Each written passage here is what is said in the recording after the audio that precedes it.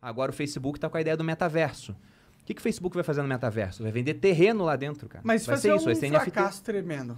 Você Olha- acha? Eu acho que vai. Cara, eu Sabe não por quê? apostaria Pelo- Pelo contra. um único Os motivo. caras têm muito dado, mano. Tudo bem, mas é- sabe uma coisa que... É é que muito- pra você entrar naquele mundo virtual, tu precisa ter um headset virtual. Agora, Ah, cara, ok. Mas dado esse ponto, é que eu não vejo brasileiro comprando um headset virtual, tá ligado? você viu o brasileiro um comprando indiano. todo mundo com celular lá na década de 90? Eu vi, mas o celular e o headset virtual são coisas diferentes, mano. E se a internet for o metaverso, diferentes. cara? Não acho que vai ser, sinceramente. Mas, boa. Total, estou aberto ali não a, ser. a ter isso. É, é que, mano, o negócio de games é que isso é um jogo. O metaverso é um tipo de jogo, é um jogo virtual. É tipo aquele. É, ah, tinha um nome de um jogo Second antigo. Life. Second Life. É tipo um Second Life essa porra. É a única diferença é que agora tem um reality. Tem um óculos que você pode entrar lá com óculos. Ok, ok. Cara, já tem jogos muito foda de óculos virtual. Mas não tem, você vê o brasileiro comprando essa porra? Não vê. Sabe por quê? É caro pra caralho um óculos virtual. Tem motion sickness, que é um negócio que você começa a andar com o negócio e você começa a ver como tu não tá andando mesmo, você só tá andando virtualmente, e mas no headset parece que você tá no mundo, te dá um enjoo do caramba, porque o seu cérebro fica bugado fala, mano, eu tô andando, mas eu tô parado. É isso que acontece, né? Sobre essa questão, ó, eu vejo da seguinte forma. Você tá vendo o jogo ainda, né? E nem todo mundo gosta de jogo, mas isso tem potencial para ser uma outra realidade, cara. Onde as pessoas entram, por exemplo, você está insatisfeito com o seu peso, mas lá no metaverso você tem um avatar que é exatamente como você quer. Mas isso existe, Sexo, chama peso, MMORPG. tudo. Então, mas, mas o ponto é, é a realidade que pode ser diferente. O pessoal pode ir pra lá simplesmente que tá todo mundo lá. Vai ser tipo rede social. Sabe aquele cara que não gostava de rede social hoje tem um perfil no Não, Instagram? eu acho a eu ideia era assim. foda. A Eu ideia eu, acho assim. foda. O problema é a execução, que eu acho que não vai funcionar. Sabe por que, que vai funcionar, cara? Hum. Porque a tecnologia tem uma evolução exponencial. Sim. Tem uma, uma lei dentro da tecnologia, não é uma lei de fato, é uma ideia de um cara chamado Gordon Moore, que era um dos eh, presidentes da Intel aí durante um tempo, um grande acionista. Ele falava que o número de transistores em um chip dobraria a cada dois anos pelo mesmo custo. O que, que isso significa? Que os chips daqui a dois anos vão ser melhores do que os chips dos últimos 50 anos somados. Então isso mostra a capacidade de evolução gráfica das coisas. Então hoje pode ser tosco o metaverso, mas com o tempo ele vai disruptar aquilo que é analógico, que é, que é a nossa realidade aqui. Isso é um ciclo que acontece nas tecnologias. Tem um ciclo chamado de 6Ds que fala disso. Não, eu total Não, mas olha só, vocês dois estão falando, pra mim é o seguinte. Talvez você esteja certo e o Perini também. Por quê? Porque, cara, é, a gente viu na história muitas invenções sendo é, descobertas ou inventadas, enfim, é, e que elas funcionaram, mas não no seu tempo. Então, quando você pega o iPad, por exemplo, o iPad não foi a Apple que inventou, né? É, mas foi pela Apple que se popularizou. Então, o que o Perini está falando, cara, é inevitável. O, o metaverso vai ser muito mais que o metaverso. Vai ser, é o que ele falou. É, vai ser muito mais real do que um óculos. Sim. o Vai, ponto é, Não, talvez, talvez acontecer isso. agora isso. daí não Tá- seja um é, demora mainstream. 20 anos. E porque talvez o não seja um metaverso, entendeu? É, é- a questão é. Talvez Você- não seja o Facebook anime, que você gosta, diz. Você não gosta, né? Você não gosta de Tipo, anime. tipo, não vai ser o Facebook que você tá falando. curto, mano. É, tu curte. Você sabe qual é esse Sword Art Online? Tô ligado. Então, Porra, animal. É isso, vai acontecer Bizarro. isso. O vai foda é quando isso. chega na segunda temporada, né? Que acaba, que é uma Caralho, merda, eu ridículo. concordo.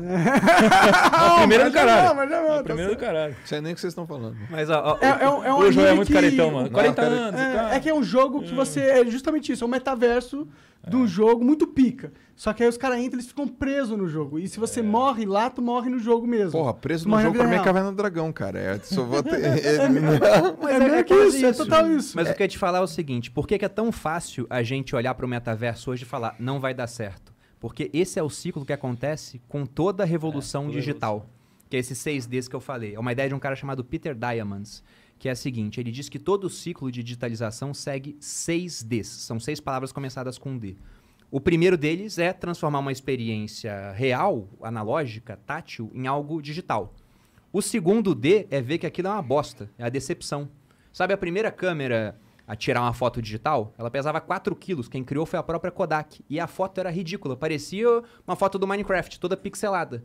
Então a própria Kodak olhou para aquilo, se decepcionou e falou: não vamos desenvolver isso, temos nosso negócio que é altamente rentável de revelar fotos, deixa que outros façam. Só que o digital evolui muito rápido. Aí o terceiro D é a disrupção. E por que, que as empresas são disruptadas? Porque quando elas olham para ameaça, elas olham assim e falam: Isso aqui não é uma ameaça. Elas se decepcionam. Só que depois que disrupta, a gente entra na fase onde as pessoas começam a ter acesso. Por quê? Porque no digital as coisas estão desmaterializadas. O que, que a Amazon acabou com as livrarias? Várias, né? E ainda vai acabar com outras tantas livrarias em shopping. Porque a livraria no shopping é material, tem um ponto físico gigantesco, caro. E a Amazon aluga o galpão no subúrbio da cidade para te entregar o livro em um dia. Vai ficar muito mais barato. Quando isso começou a acontecer, o pessoal mandava direct para mim no Instagram. Que absurdo, o brasileiro não lê, tá fechando a livraria Cultura de não sei aonde. Eu só Ah. perguntava, você compra livro aonde? Ah, eu compro na Amazon que é mais barato. Então você tá ficando revoltado com o quê? Porque desmaterializa, desmonetiza, que é o quinto D. E o último D é o quê? Quando desmonetiza, fica mais barato, aí a pessoa começa a ter acesso. Aí você chega na democratização. Então, a, sei lá, você começou o podcast aqui há, há quanto tempo? Quatro, três anos? Menos gente assistia, não era? Pô, Hoje muito mais gente assiste. Não é só o crescimento do podcast, é o crescimento do uso da internet. O mercado financeiro foi igual. Entendeu? Então talvez não seja a meta, né? O Facebook Sim, que sim. faça. Mas alguém vai fazer esse negócio acontecer. assim, cara. o meu argumento é, com certeza eu acho que isso é o caminho. Eu, inclusive, eu, eu almejo isso. Eu quero muito que tenha um MMOR MMORPG pica, realidade virtual, que eu possa só sair desse mundo e entrar naquele e esquece de Monark durante uns, umas horas, tá ligado? Eu adoraria que isso acontecesse, eu acredito que vai acontecer, eu só não acredito que vai acontecer com o Facebook liderando. Só isso que eu não acredito. Eu, eu prefiro que seja assim também. Eu também, e Facebook. eu acho, sabe por que, que você prefere? Porque eu acho que estão ligadas as duas coisas. O negócio que está acontecendo é que as empresas têm uma credibilidade de marca. E quando elas vão ganhando poder, que nem o Facebook está ganhando, ganhando controle sobre nós, sobre a população, eles vão ganhando também uma responsabilidade cada vez maior. E o Facebook, infelizmente, tem falhado rotineiramente nessa responsabilidade. As pessoas não confiam mais na marca. Tanto que ele mudou o nome para Meta.